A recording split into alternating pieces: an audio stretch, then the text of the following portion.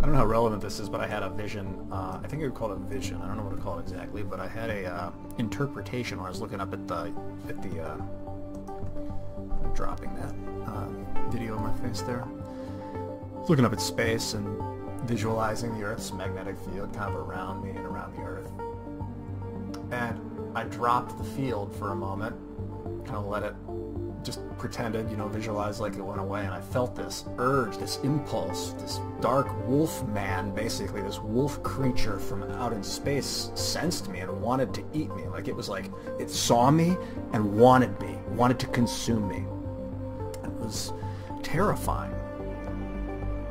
And I didn't want to even conceive that something like that existed before that happened. So it was like, and I was just thinking, maybe I was just making it up or interpreting something else as uh, something wanting to eat me because that's what the stories I've read, like Little Red Riding Hood and the Big Bad Wolf. But it's also possible that like wolf creatures consume doses of psychedelics over millennia and developed high levels of intelligence. And bears, like there could be bear bears that just consumed so much psychedelic mushrooms that they started to understand more and listen to each other and develop language more and that they dominated a planet. It's very like, uh, likely, I would say. I, I was going to say likely, but it's it's very likely in the infinite universe, I would say, that other races than monkeys have developed high levels of intelligence through psychedelics.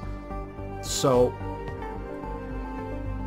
so it's terrifying. So make what you want of it, but it's a reason to like not be an idiot as a species. Like be unified, come together, and be prepared for other species that have already done that we have to be at our A game. We have to be our best. We have to play our A game as a species.